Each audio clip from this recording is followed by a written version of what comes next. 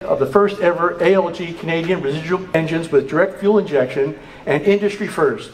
Torque act in its naturally aspirated form, it produces 385 horsepower. There's no reduction in fuel efficiency and no increase in exhaust emissions. With our new super, supercharged 5 liter and 10 horsepower to dramatically strengthen Jaguar's performance story. And today,